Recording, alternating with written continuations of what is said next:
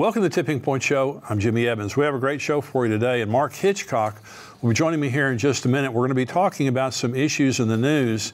There is a growing rift between the Biden administration and the Netanyahu administration. This is increasingly in the news, talking about just some hostility that exists between President Biden and Prime Minister Netanyahu and the pressure that we're putting on them to stop the war in Gaza and also to enter into a two state solution. This is a big issue that Mark and I are going to be talking about. We're going to be talking about NATO. We're going to be talking about Jordan. We're going to be talking about different things that are happening that you need to know about. We're also going to be answering some questions.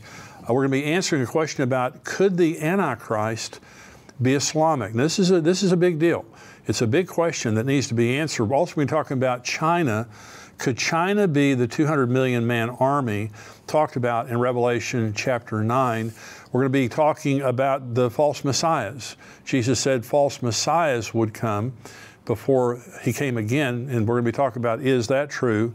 Uh, wouldn't Israel need a more orthodox government in order to move forward with rebuilding the temple and the sacrifices? We're going to be talking about that. And also, since the U.S. is judged related to Israel in a two state solution, doesn't God also judge Saudi Arabia and other nations in a similar manner. So we'll be talking about things in the news and also be answering questions. Welcome to the Tipping Point Show.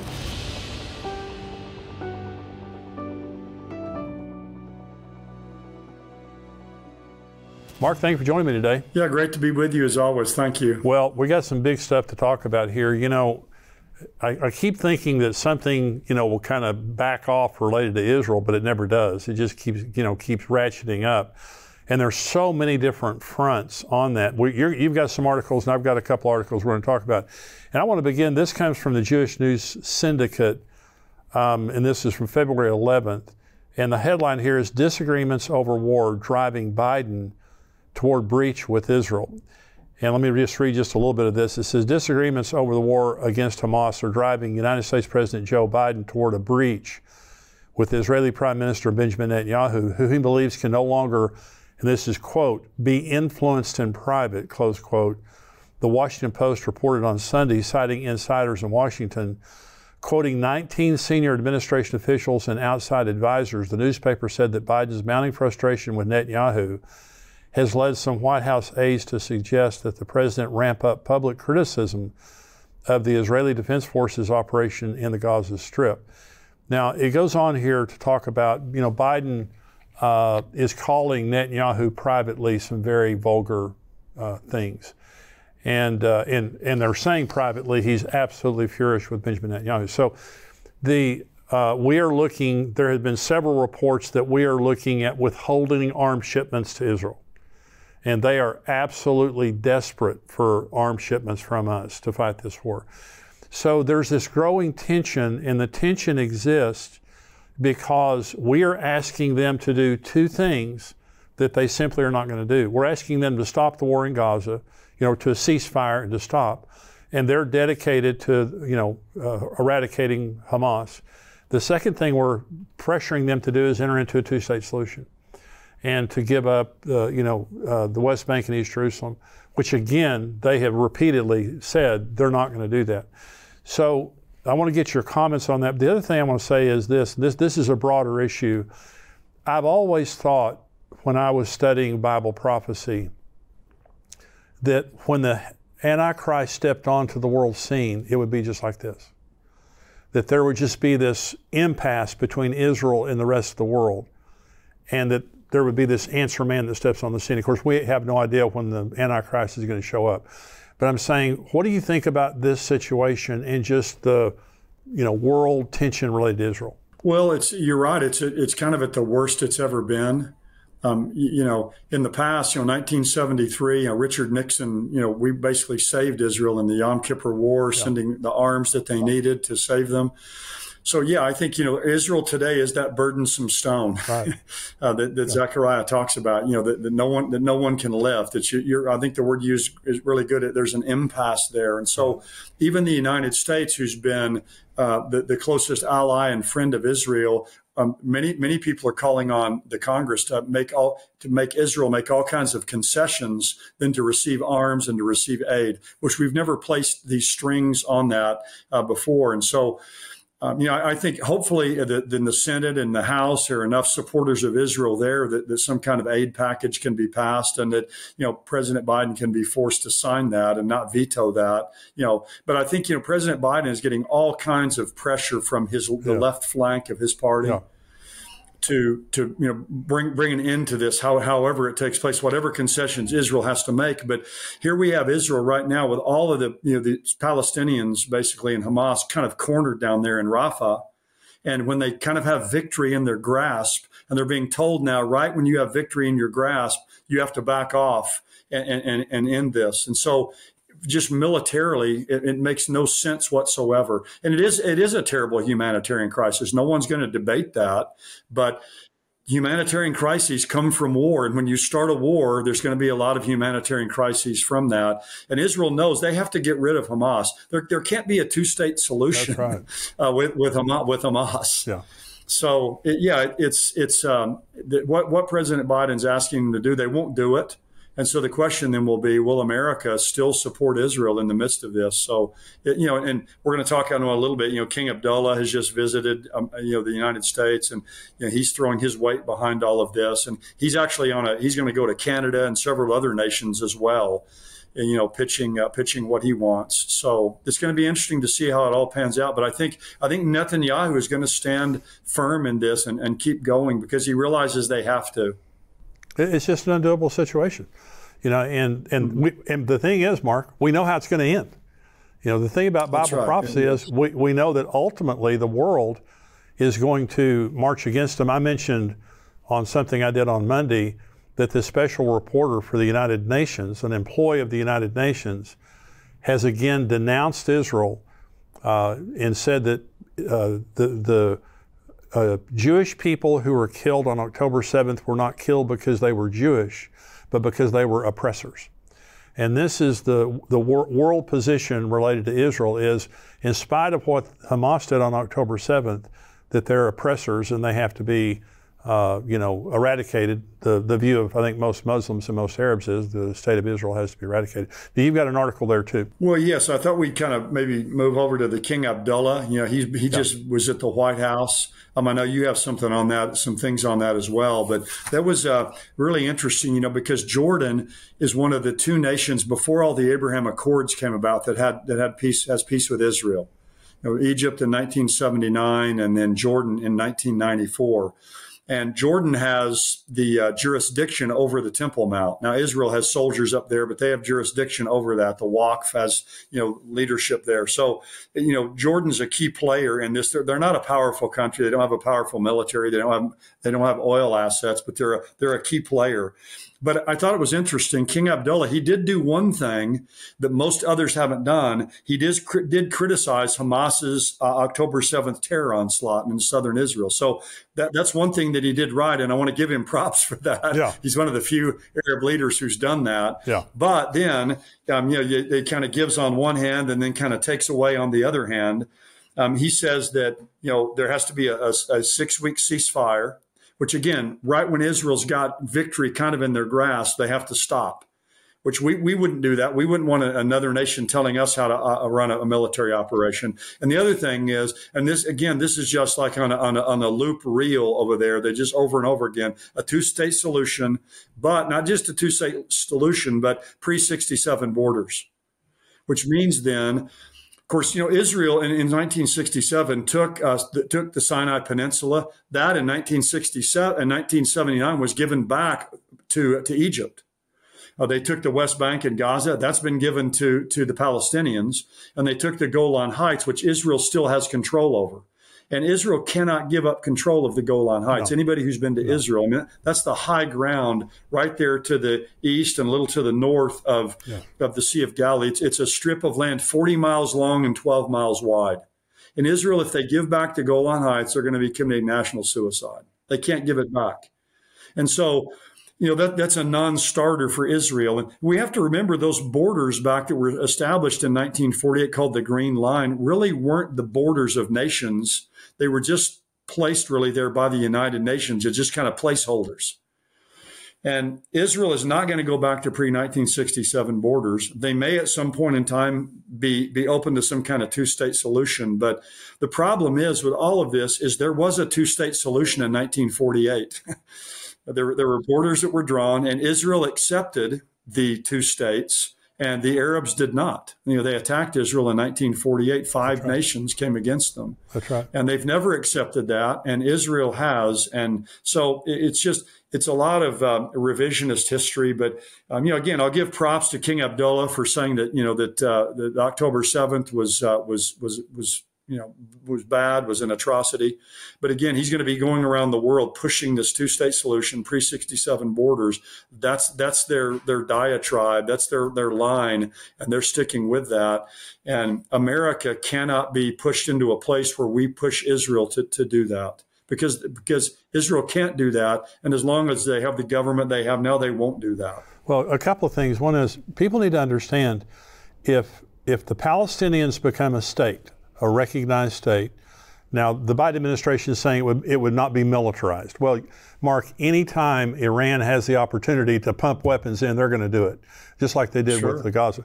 So, number one. But number two is if they become a state, all the Jews have to leave. They have about a half a million Jews on the West Bank, 200,000 in East Jerusalem. All those Jews have to leave. They lose their homes. Okay, that's number one. Number two, and you said it right there was a two state solution offered in 1948. The Jews accepted it, the Arabs didn't, and they all, surrounding nations, attacked Israel in their war for independence. The reason for the 1967 Six Day War is they were using the West Bank, they were using East Jerusalem, they were using Gaza, and they were using the Golan Heights to attack Israel all those years. And so Israel took that ground to keep from being attacked, and the Sinai Peninsula. So Israel took, them, took all that land to protect themselves. Now, what we're saying and even after Hamas, and, and, I said this, I think I said it last week on the show, but Mark, uh, there's only 5% of the Arab population in the Middle East that supports Israel being a nation. 95% want uh, Israel wiped out. And in an in a election today, Hamas, they're rock stars. See, we, we see Hamas as terrorists and thugs and all that. In the Arab world, they're rock stars. And if they're, what they're saying is, if a free election was held today in the West Bank among the Palestinians, they would elect Hamas to be their leaders. They're not the Palestinian Authority; they want Hamas. So what we're saying right now, and this, and this is how Israel hears this. The Palestinians do not want Israel there. Benjamin Netanyahu said the only difference between Hamas and Fatah and the Palestinian Authority isn't whether we should exist. They all want to get rid of us. It's just how to get rid of us. Okay, that Hamas is just more in your face. You know, kill Israel, kill the Jews, but the Palestinian Authority they want a state, and then they want to use that statehood to get rid of Israel, to, to do what they've done before. So what we're asking them to do historically is insane. It's insane.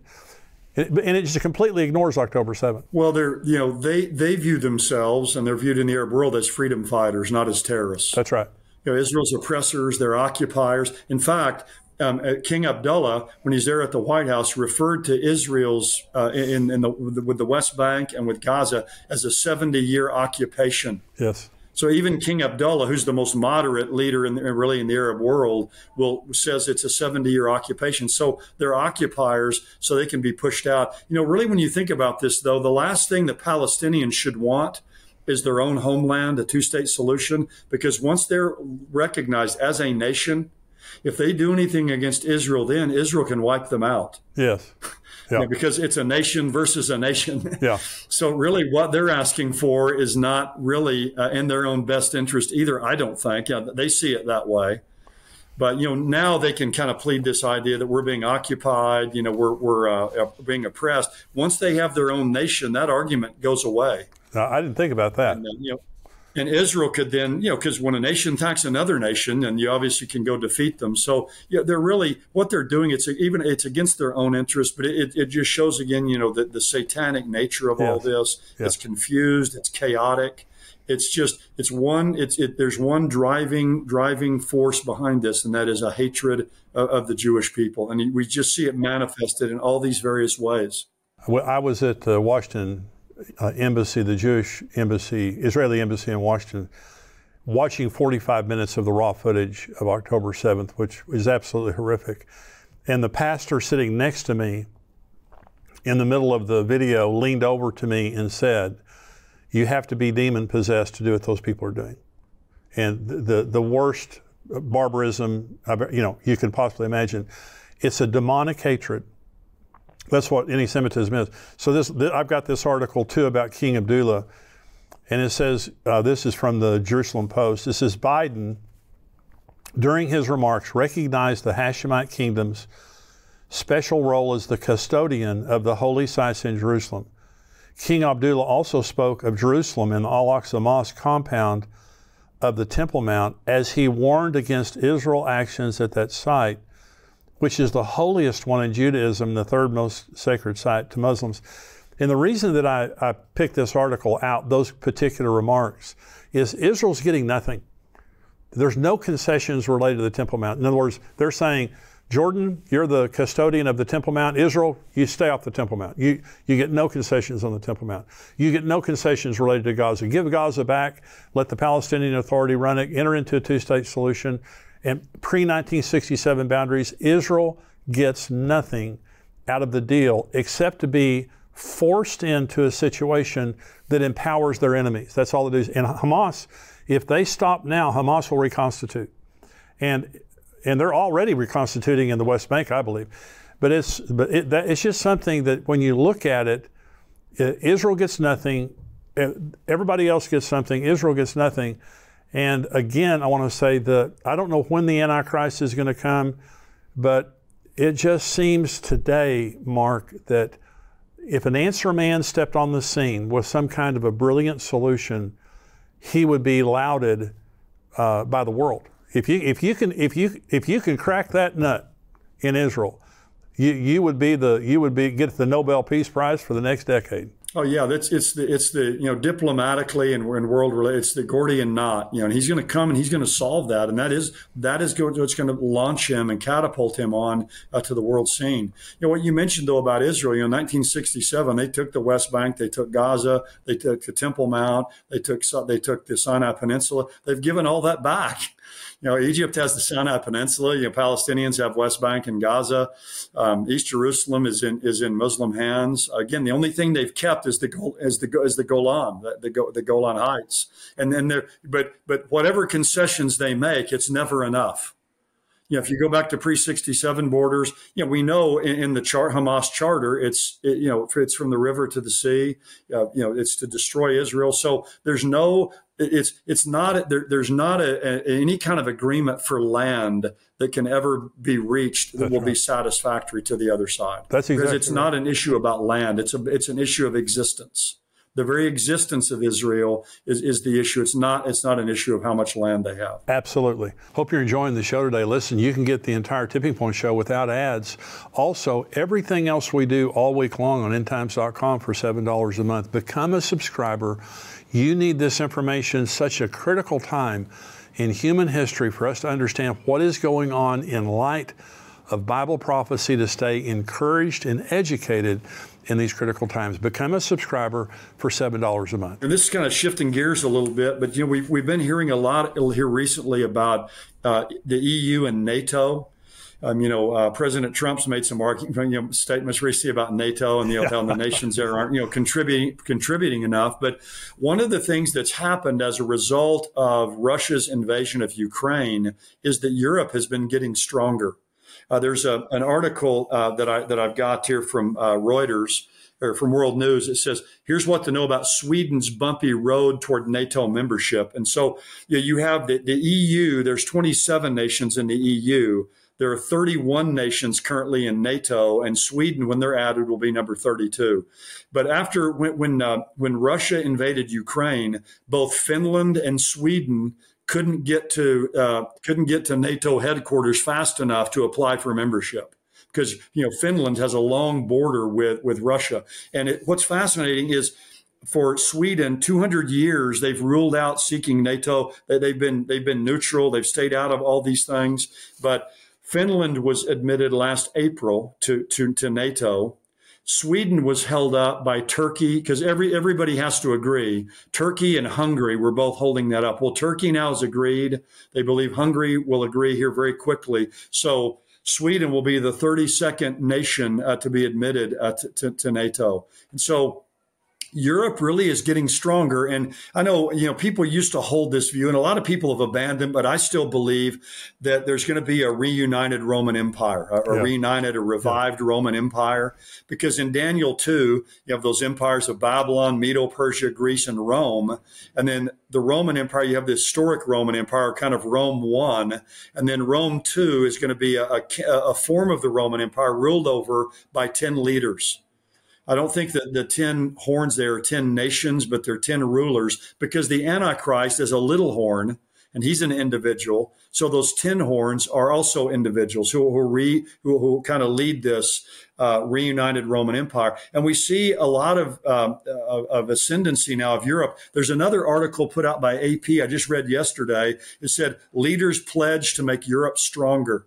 So Germany and Poland and France have met to try to make Europe stronger in light of what's happening in Russia in their invasion to Ukraine, and obviously believing if they're able to take Ukraine, that they're going to you know then, then move on from there. So Russia's invasion there of Ukraine has really served to us to strengthen uh, Europe and, and NATO and the EU and, and these these different institutions that are there. And I think that's I think that's significant. My view is the Antichrist will rise out of the, the reunited Roman Empire. Again, that that, in, that encompassed a lot of countries. It doesn't mean he just has to come from Europe, but he'll come from a, a reconstituted Roman Empire. And so I think that's significant that they're they're becoming uh, much stronger and their their uh, ties with one another are being cemented even further. Mark, th- there is a very clear uh, emerging uh, war between the East and the West and it's already a silent war, kind of a Cold War. You know, there was the report that China has been trying to prepare to have all kinds of cyber attacks against the infrastructure of the United States. We know they're our enemy. They're our number one enemy in the world. But you have Russia, China, Iran, and North Korea that make up kind of the power block in the East.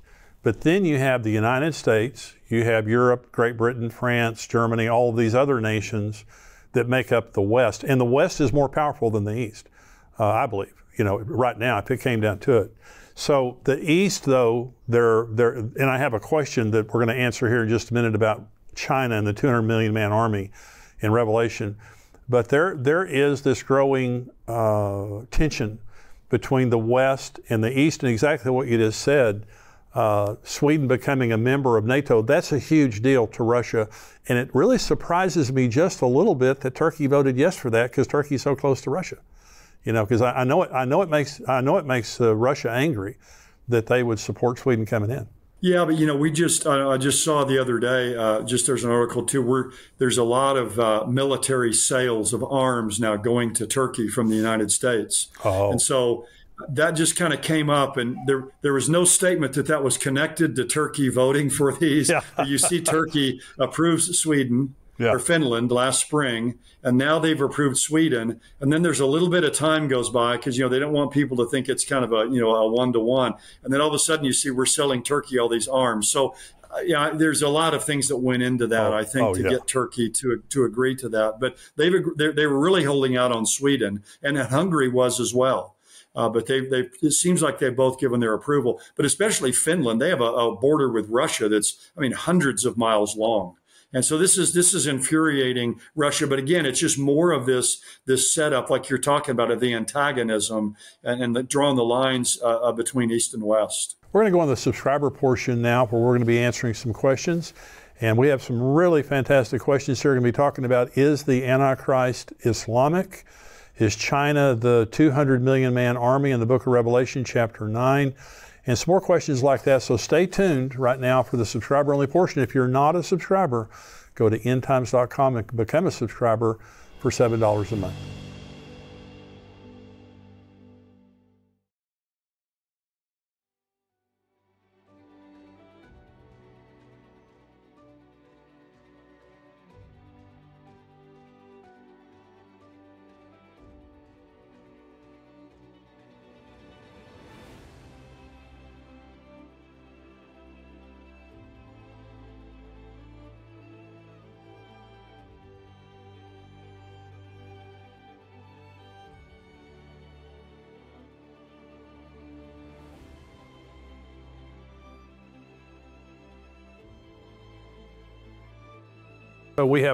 A big lineup, and we have coming this year Max Lucado. Max is a dear friend of mine. He is the number one best-selling Christian author of all times. His books have sold more copies uh, than any other books except the Bible. He is a brilliant teacher, and he's going to be teaching. He's written books and speaks on the end times. You're going to want to hear him. He's, he's going to be fascinating. So we've got a great lineup of speakers. I want you to be a part of it. So go right now to conference.endtimes.com. You can select your seat there. We have all different kinds of pricing and, and seats available. And so you need to get it while they're still available because we're expecting this to fill up this year. Go right now to conference.endtimes.com. Want to see you there.